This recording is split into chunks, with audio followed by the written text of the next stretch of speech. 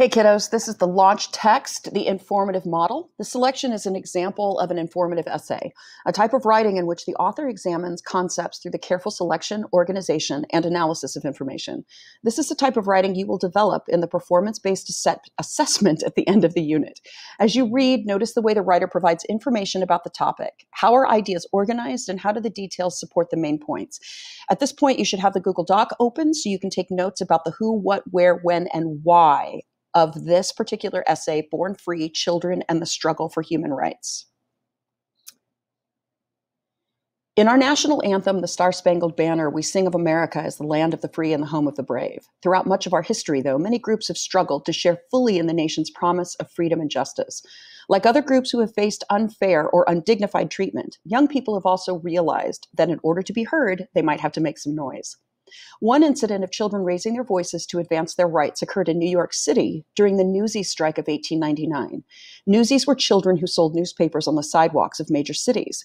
In the late 1890s, there were roughly 2,500 Newsies in New York City, most between the ages of 6 and 16. The shouts of these children calling, extra, extra, read all about it, were part of the soundtrack of urban life.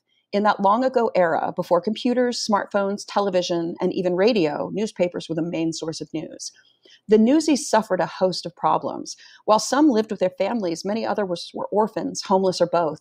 The United States did not institute laws protecting child workers until 1916, and the newsies were victims of unscrupulous business practices. They often worked 10 or 12 hour days.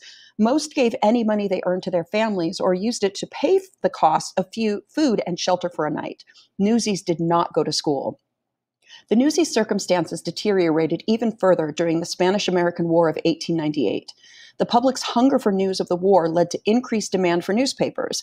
Newsies bought the newspapers from publishers and then sold them to the public. During the war, the price Newsies paid for a bundle of 100 papers rose from 50 to 60 cents. Once the war ended, readership declined. Most newspaper owners responded by returning the price of a bundle to 50 cents, but the two biggest publishers, Joseph Pulitzer of the New York World and William Randolph Hearst of the New York Journal, refused to lower their prices. In addition, both Pulitzer and Hearst discontinued the practice of buying back unsold papers. Instead, they forced the newsies to absorb the losses. On July 20th, 1899, the newsies took on Pulitzer and Hearst by launching a strike. They refused to sell either newspaper and warned off anyone who tried. They bought, brought traffic to a halt by marching through the streets and gathering at the Brooklyn Bridge. They made signs asking the public not to buy Pulitzer and Hearst newspapers, and they chased off men who were attempting to deliver bundles of papers for distribution. The public showed its support, raining coins down on the strikers from the windows of offices and apartments. What began as a localized strike by about 300 newsies near Manhattan's Wall Street soon spread west to New Jersey, south to Brooklyn, north to the Bronx, and east to Queens.